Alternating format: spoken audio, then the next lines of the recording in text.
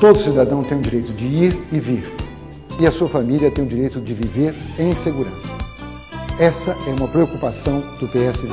O político tem que estar presente no Congresso Nacional e na sua comunidade. Precisa trazer recursos para mais saúde, mais educação e principalmente para maior segurança. PSD, pensando em você com mais segurança. Partido Socialista Brasileiro